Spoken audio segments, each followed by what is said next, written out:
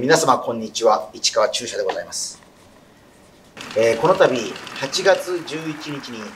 えー新作歌舞伎「ルパン三世」がなんと英語字幕付きで国内および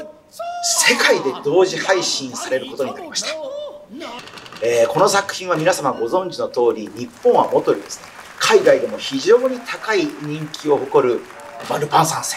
これと歌舞伎がですね、まあ、奇跡の融合を果たしました作品でございます。その中で私は、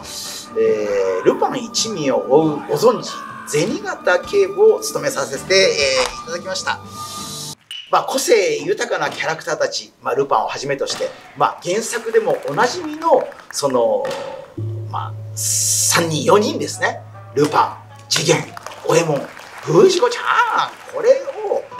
まあ、銭形警部が追うというその大取り物がこの歌舞伎でどのように描かれているのかそれを本当に注目していただきたいなというふうに思っております。またですねアーカイブ配信もございますのでこれ何度でもその期間中はご覧いただきます。ぜひ世界中の皆様で盛り上がっていきたいと思います。どうぞよろしくお願い申し上げます。